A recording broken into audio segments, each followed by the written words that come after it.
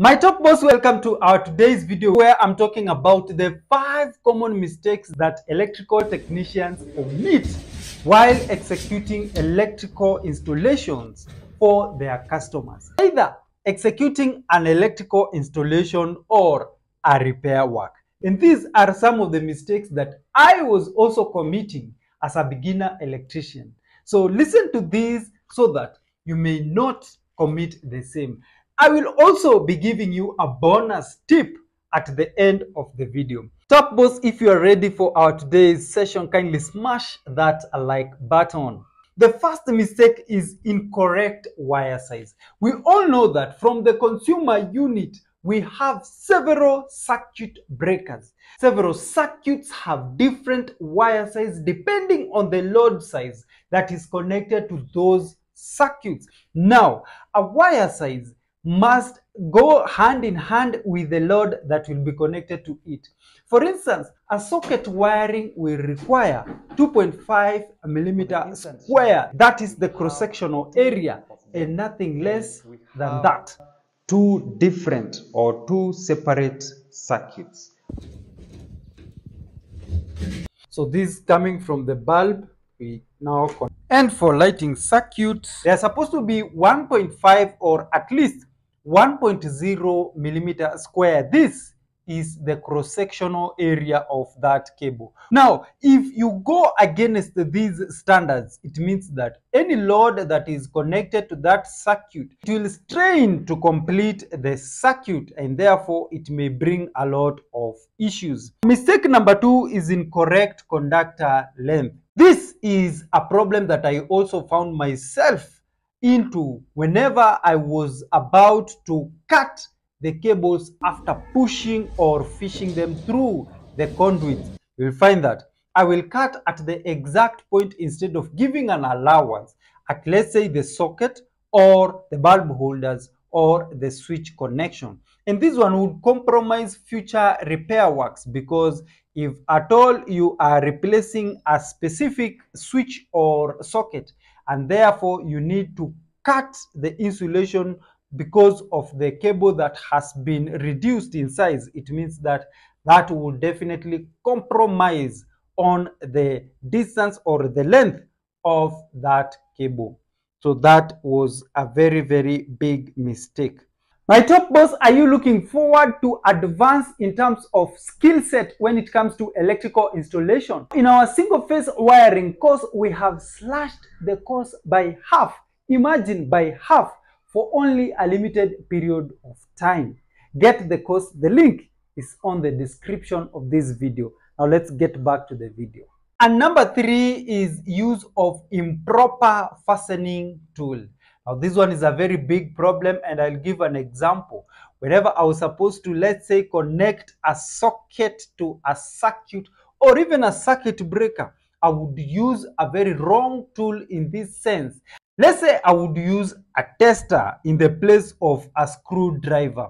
And we all know that when using a tester, you must be very careful because of that glass part that can snap or even break. That means that I would not tightly screw the wires and therefore it meant that that connection was very loose and susceptible to fires due to arcing. The fourth mistake was loose electrical connections. Just like I have highlighted at number three, if you leave electrical connections not well or properly fastened, especially at the consumer unit or at the load, it means that this circuit or the load that has been connected to the circuit will have an issue conducting electricity. These loose connections are very, very dangerous because they will definitely compromise the return path of electricity. Electricity flows from the source to the appliance and back through the path of the neutral and therefore that forms a complete circuit or a loop. If at all in that loop there is a compromise or a loose connection, it will definitely lead to arcing, sometimes under voltage or higher voltage as this specific appliance is trying to get sufficient power from the source. Now, this one definitely leads to a lot of issues whereby that arcing may lead to fires. All right.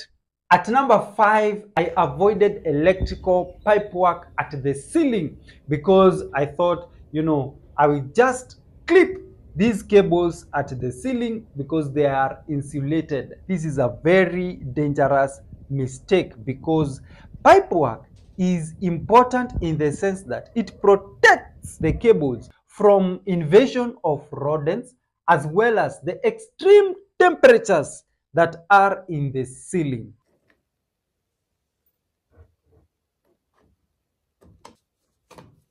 We know that the ceiling is definitely near the roof and temperatures in there, if at all you have ever stepped there, the temperatures are very high. Now, lack of conduits will mean that this insulation will be very, very soft because of the very high temperatures and therefore the rodents will find it easy to eat up the insulation. Once the wires are exposed, they may short circuit each other. This is the phase and the neutral. When they short circuit, it will lead to tripping of the circuit breakers. And if the circuit breakers cannot trip, therefore it means that there can be sparking. Sparking at the ceiling is very dangerous because wood there is very dry. If this sparking can escalate to a flame, it means that the entire building can be engulfed in fire and therefore leading to a lot of losses. Bonus tip is when I failed to carry all the necessary materials, tools, and even instruments when going to troubleshoot an electrical issue.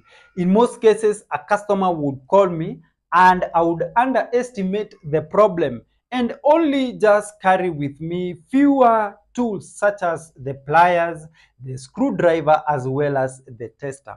Now, this led to a very huge problem in case I arrived at the site and the problem was more complicated than I thought.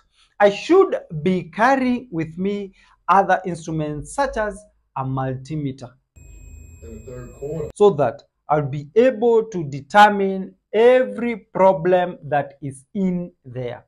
So that is a bonus tip for you, my top boss. Ensure that you always have this important instrument that can be able to diagnose most of the problems in that electrical circuit. If you have not subscribed to our channel, kindly subscribe so that you don't miss any episode that we do upload. My name is John and this is Top Heights Electricians. See you in the next one. Circuits in an electrical installation, especially in a house wiring. Let's say a let's say I would use a let's say I would use a tester not tightly or properly that means that I would not tightly screw that screw with that means that I would not that means that I would not tightly screw the wires and therefore it meant that that connection was very loose and susceptible to fires due to arcing.